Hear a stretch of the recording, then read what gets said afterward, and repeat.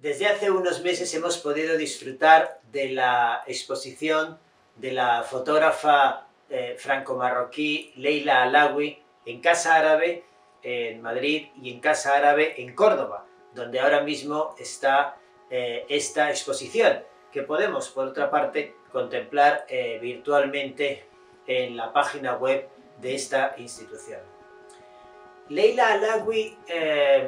junta eh, todos los orígenes del mundo, no solamente el francés por parte de su madre, el marroquí por parte de su padre, la crianza marroquí, sino el hecho de haber, por ejemplo, estudiado antropología en Estados Unidos, el haber vivido eh, muchos años en Francia, y todo eso nos dio una personalidad extraordinariamente curiosa, rica y sobre todo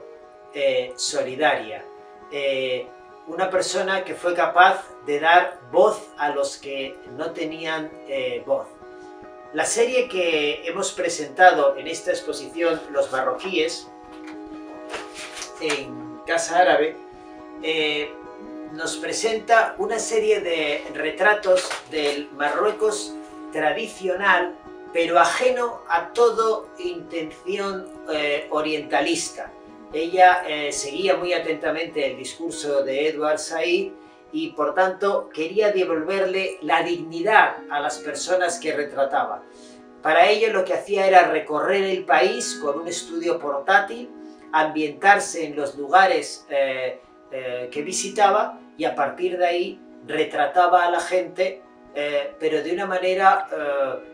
tradicional y al tiempo clásica siguiendo un poco los modelos de los retratos renacentistas de Van Eyck, pero juntando esa eh, intención eh, moderna de,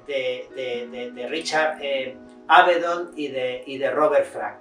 Ese es el resultado de la exposición que tenemos en Casa Árabe. Hace pocas fechas también se ha publicado en Francia el libro Off to Waga, eh, Diario de un duelo imposible, que ha eh, publicado, eh, escrito su padre, Abdelaziz Bel Hassan Alawi. Es un libro conmovedor, extraordinario. narra los últimos momentos en donde el padre en París despide a su hija cuando se encaminaba hacia Ouagadougou, en Burkina Faso, para realizar eh, un trabajo al servicio de Amnistía Internacional en defensa de los derechos de la mujer. Y es donde ella, lamentablemente, va a ser asesinada por este eh, atentado, eh, en este atentado terrorista en donde murieron también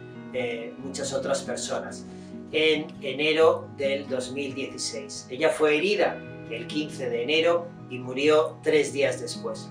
El libro nos narra eh, la experiencia que su padre tiene de esos últimos días y al tiempo nos va contando el día a día los sufrimientos que ellos tuvieron primero para intentar repatriarla y luego para intentar mantener eh, su memoria eh, viva. Leila Alawi era una rebelde, fue una mujer que dio voz a los sin voz, siendo extraordinariamente moderna en su manera de entender la fotografía, fue una mujer extraordinariamente comprometida,